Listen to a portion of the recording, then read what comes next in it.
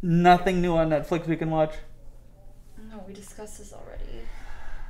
And there's no parties we can go to. There's not any engaged dinners, and there's not even like Harry Potter trivia on Zoom or something. No. This sucks. Oh my god! Oh my god! Oh my god! Oh my god! Oh my god! Oh my god! You will not believe what I just thought of. I've got it. The thing that we've been searching for, a way for us to feel relevant again. The solution to our boredom. It's time for us to found a startup. Yes! Yes! Yes!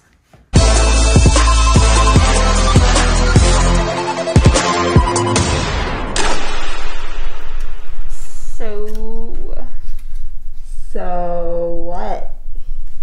what's the idea? What idea? Like, the idea for the startup. Oh, that. Yeah, the idea for the startup. So, like, I don't have that yet, but I've already posted a survey on general so that we can better study our customer. Wait, what? Excellent, Stacy. That way we won't waste a second acquiring users once we have that next billion dollar idea. Now let's see. What else would David Schonthal advise? Hmm, I am going to start a Zell Fellows application. Let me get that going in parallel. Yes, you go, Liam. But back up one sec. Billion dollars, that's not going to cut it anymore. By the time we've gone through like multiple rounds of dilution, not to mention the likely big one with SoftBank, we're going to be lucky if each of us ends up with 5% of the company. Whoa, five percent though of a billion dollars is still um. What's that? $50 million. Have you forgotten your case math already? Yeah, but Stace, honestly, like, according to the admissions committee, 50 million is like barely more than the average Kellogg grad's lifetime earnings. And also, the last time I checked, none of us can code. So, like, we're gonna need someone like really professional, like a technical co founder, and that's gonna eat into our equity. Yeah, can't we like hire an intern to build the prototype? Like, I know at Triple M and they took an intro to software class. No, I mean, but like, Triple M, honestly, I'm thinking like the Valley. Like Stanford sophomore. Ooh, ooh, or like a mm-hmm. Harvard dropout? No, not a Harvard dropout. I mean, like, we don't want to get zucked like the Winklevi.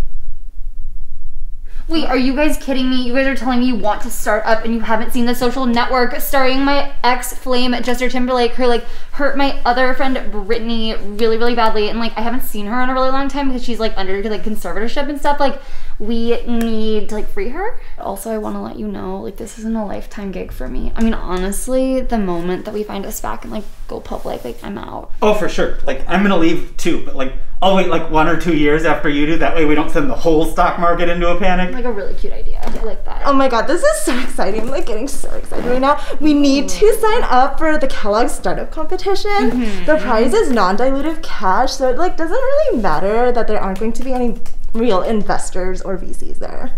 Okay, and like also, I hear that if we win, we get to work in the garage. And if there's anything that we know about startups, is that every good startup sets up in a garage. Hello everyone, welcome to the Kellogg's Venture Challenge. Teams will now pitch their ideas to the judges for a shot at glory. We are building the Tinder for recruiting. Why waste all your time whining, dining, and interviewing when you can just cut to the chase and swipe right on exactly what you need when you need it?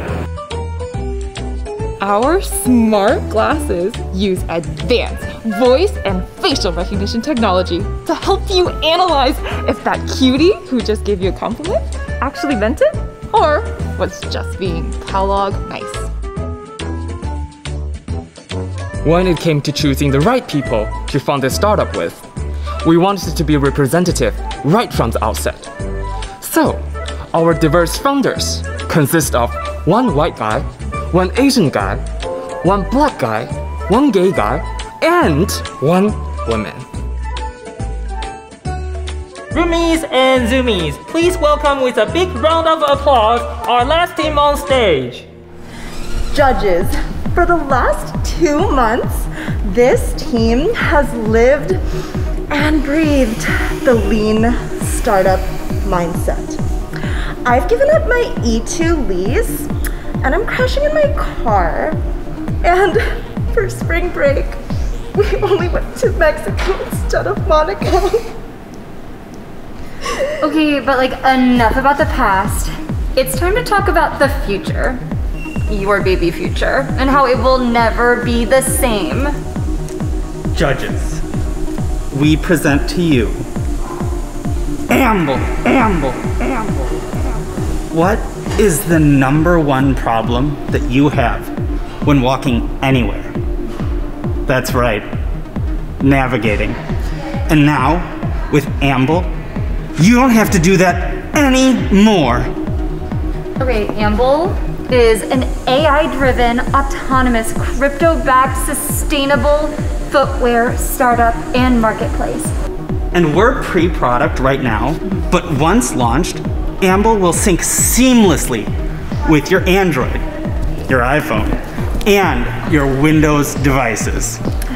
All you have to do is put down the location of where you want to go onto your phone, and your Amble shoes will automatically guide your feet in the right direction. Okay, but even more impressive, our new collision detecting software will prevent you from running into other cute baby amblers. Don't worry, trademark pending. So that way you can give your full undivided attention to that cute little baby cat video. Plus, every step that you take in our Amble sneakers is going to earn you one Amble coin, our proprietary cryptocurrency. The upside potential here is limitless. Our V2 will have ludicrous mode, which will automatically take you to a super spreader party of your choice. Ah, so there you have it. Amble, Amble. Change the world. One little baby step at a time. In the right direction. The judges will now confer and come back with a result. In the meantime, please enjoy this message from the CMC. Hey everyone, I'm Janice from the CMC. If you are still looking for a job, join a job action group. They're so helpful, trust me. and if you are done with your recruiting search, yay, congrats.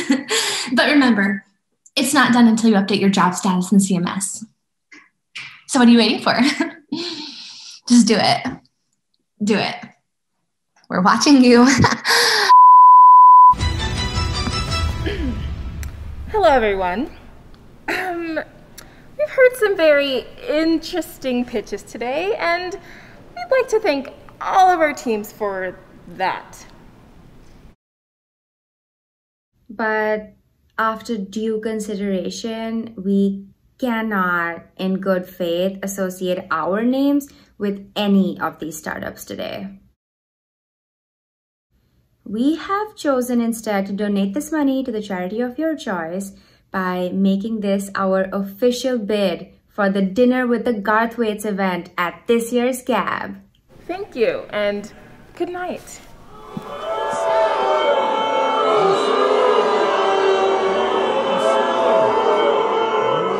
Students, students, calm down, calm down. Calm down, students. You have nothing to be angry or disappointed about. You see, you have all made us proud.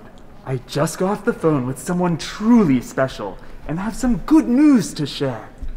The purpose of founding a startup is not to win cash prize money or create a sustainable business. It's not to gain resume points or scratch that founder's itch.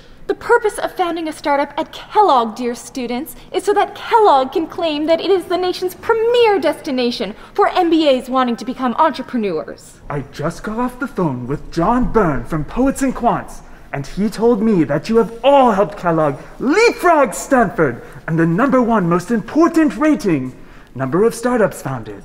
And we are now ranked first in Poets and Quants inaugural startup ratings. Woo! You did it! You did it! We did it! We did it!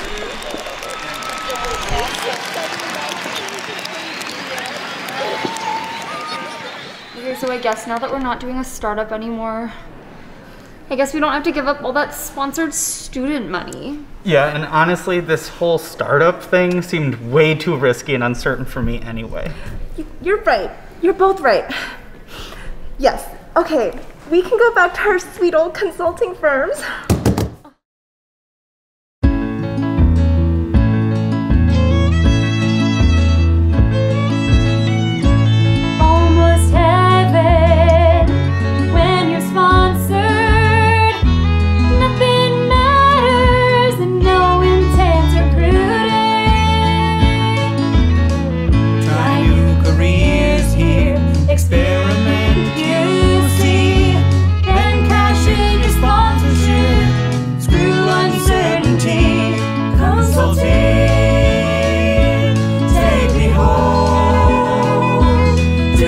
Your